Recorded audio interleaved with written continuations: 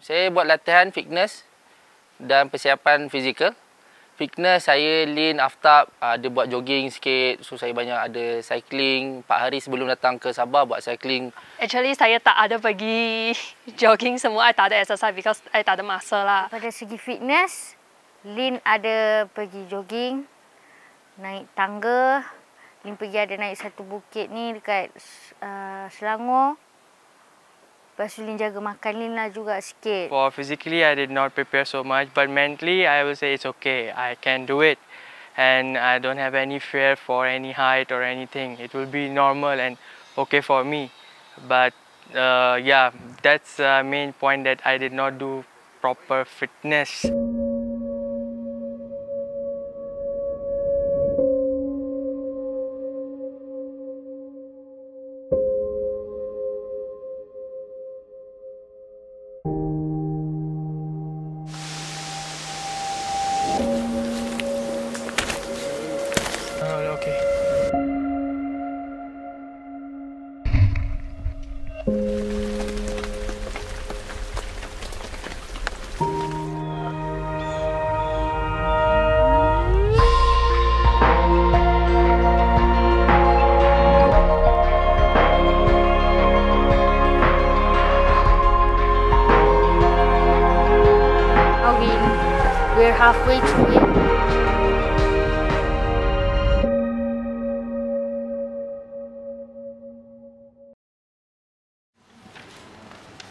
Assalamualaikum. Nama saya Raja Muhammad Amin bin Raja Azhar. First, saya dapat projek daripada Dr. Lee uh, kena buat uh, dokumentari. So waktu kita orang saya dengan Lee dengan apa tu saya terlintas lah terfikir nak buat kelainan. So saya pun bagi idea kata saya saya nak buat mendaki Gunung Kinabalu.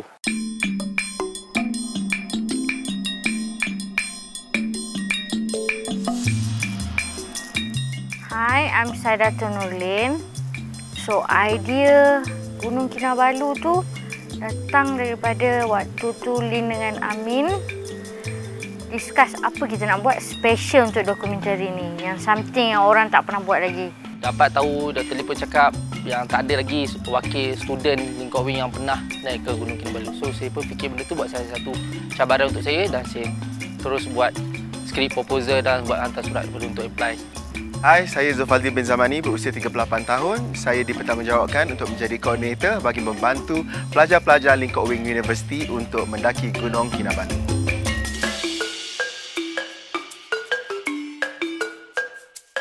Hi, my name is Aftab.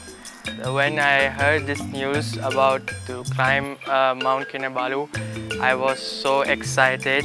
Wah, mampu tak kita ni nak jayakan benda ni?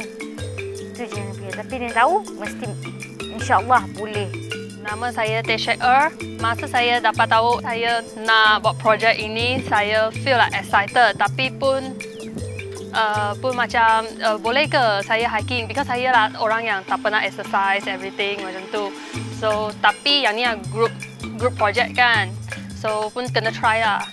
Kita sekarang berada di uh, ketinggian 1866.64 meter uh, paras laut, atas paras laut. Dan sebenarnya kita kita kira kita punya pendakian pada hari ini daripada uh, vertically dia adalah kurang 1000 meter height ya. Dan jaraknya adalah sekitar 6 km. Mula perjalanan tu saya pastikan saya punya teammate dulu okey Lin bagaimana Aftab bagaimana Teh bagaimana so waktu tu saya tengok masih bertenaga dan masih semangat untuk meneruskan perjalanan masa perjalanan pertama turun je tangga nampak je jalan tu okey sampai dekat air terjun dah mulanya naik tangga so kat situ saya buat satu soalan tanya pada tuan Martin lah berapa jauhnya perjalanan kita ni dia kata hampir 6 km semua jalan ini adalah anak-anak anak tangga dan batu-batu yang kita perlu naik.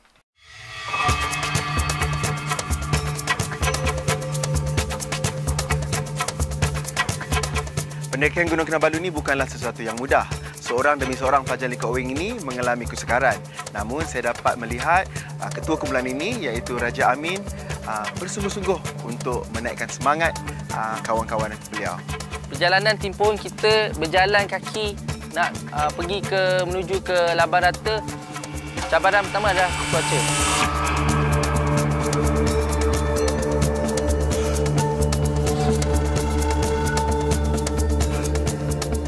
We have reached layang-layang uh, pit stop. We already actually passed it uh, and the temperature at this area has dropped to 16 degrees Celsius. So that's why the students uh, already have to change to this better outfit to, to suit the low temperature.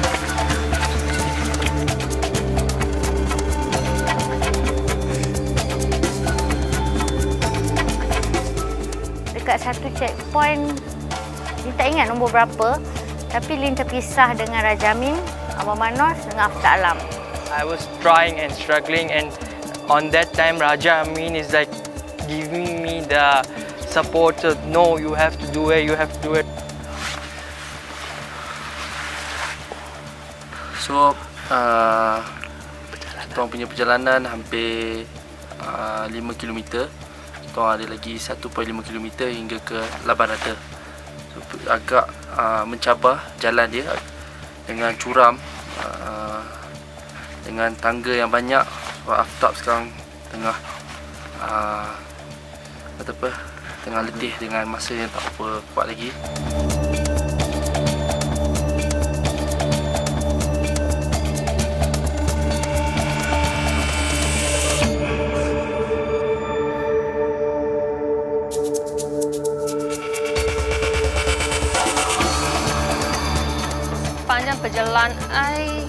Ada lah stop mesti ada punya because dah letih kan then nak minum air so setiap checkpoint mesti ada stop dekat itu pondok-pondok yang mereka ada sediakan dan minum something air macam tu.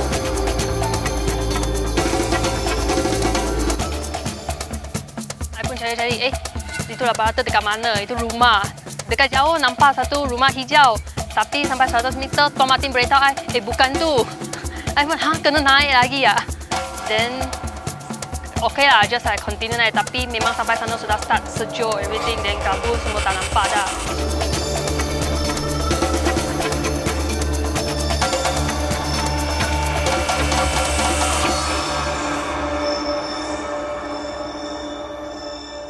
Setibanya kita di Panah Laban, kita orang rest di Laban Rata House. So dekat situ kita orang diberi arahan untuk makan dan pergi tidur. Pukul 8 dah kena tidur dah. Sebab pukul 2 pagi nak kena bangun untuk the next day untuk pergi naik sampai ke puncak.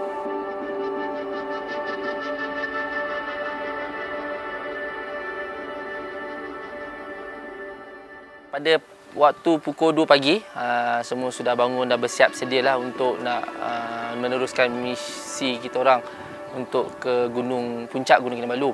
Pada masa tu saya buat uh, saya bersiap dan saya masuk bilik saya melihatlah tengok Aftab sedang buat persiapan tetapi dia agak macam uh, tak bersemangat. I don't have uh, enough uh, sleep. I feel coughing and everything, flu kind of condition, which was very hard for me. Bagi nasihat dia cakap Aftab kena teruskan, tak boleh kita dah sampai uh, di Labarata hanya lagi uh, hampir 2 km saja kita perlu meneruskan perjalanan kita hingga ke puncak. I'm not sure it's difficult for me to do it because of my my weight, my because that time my muscles. Uh, pada mula dia dia dia macam uh, tak nak meneruskan tapi semasa saya bagi nasihat tu dia dah bersetuju untuk dia meneruskan perjalanan tu. Saya rasa bersyukur Aftab masih kuat lagi dan bersemangat.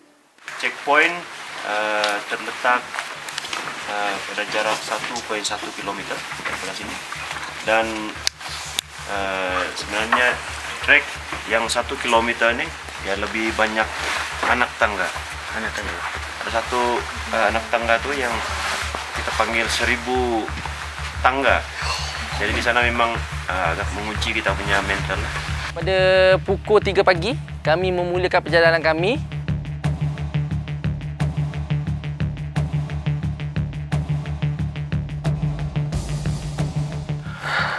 Jadi, Ya, kita nak uh, kita climb naik batu-batu macam ni lagi berapa lama? Dalam satu kilometer. Satu kilometer.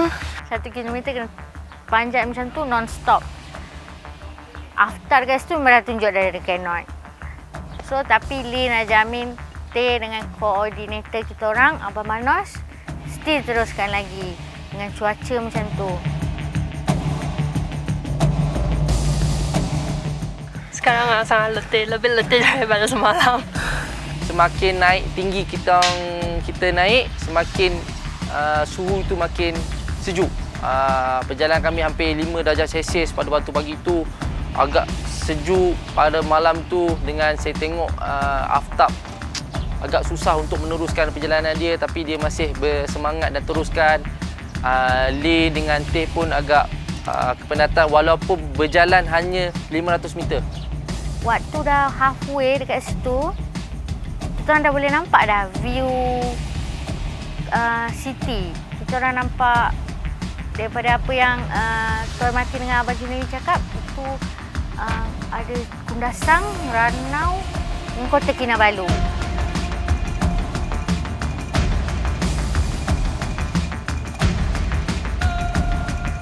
My my lungs cannot breathe. It was very hard for me to breathe.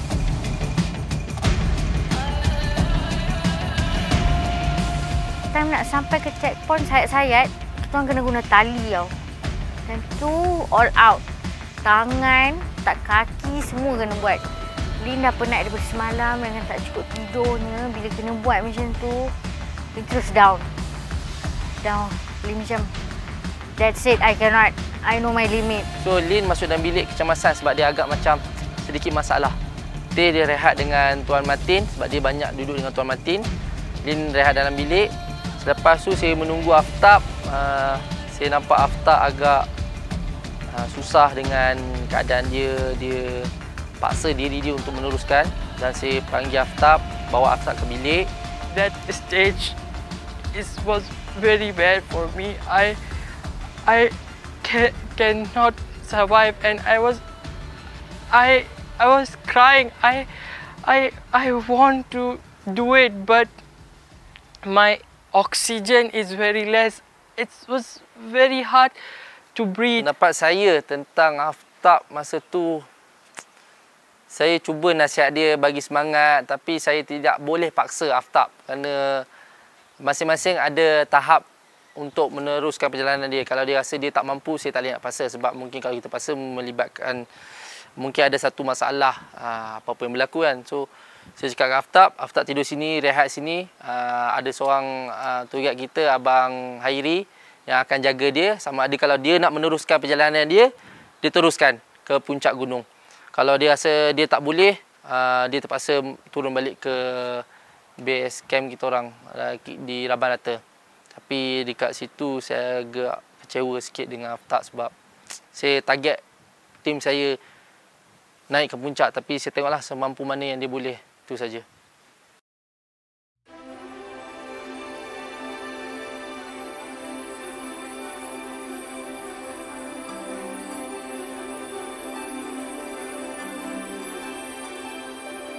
Selepas tu saya pun keluar dari bilik. Uh, saya cari Abang Banos lah korang punya koordinator cakap bonus ah bang ah, Lin dengan Aftab tak nak teruskan. Lepas tu tiba-tiba Lin keluar, dia decide dia kata dia nak ikut.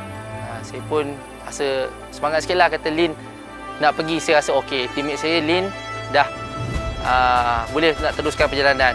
Sebab itu kita punya plan dan idea tu untuk sampai ke puncak tu untuk nak memberi nama, bawa banner tu itu memang matlamat kita orang.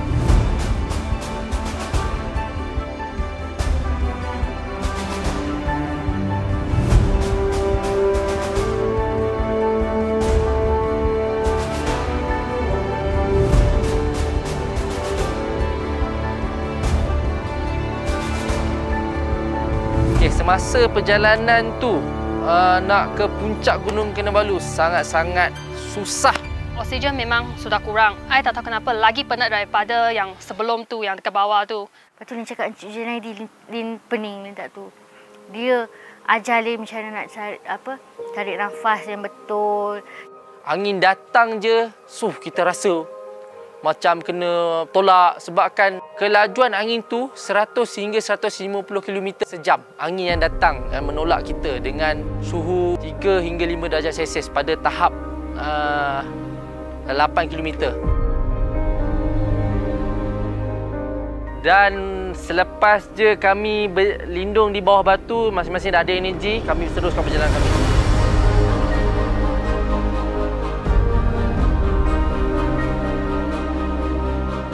100 meter terakhir saya memberi semangat pada kawan-kawan saya Teh, Lin, Abang Banos uh, saya beritahu yang kita hampir sampai kita kena teruskan dan kita perlu berjayakan misi kita dan akhirnya dan akhirnya Finally! kami student Lim Kok telah berjaya menawan Gunung Kinabalu. Lim Kok